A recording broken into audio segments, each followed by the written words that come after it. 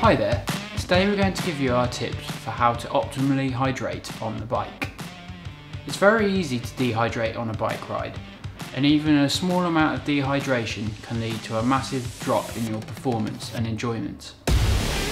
As a general rule, you want to aim to drink at least half a litre of water per hour on a bike ride.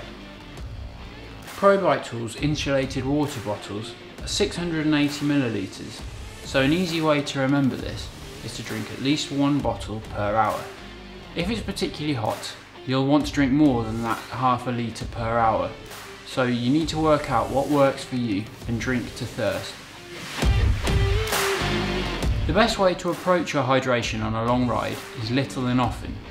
Drinking a small amount regularly is better than going and downing a whole bottle at once.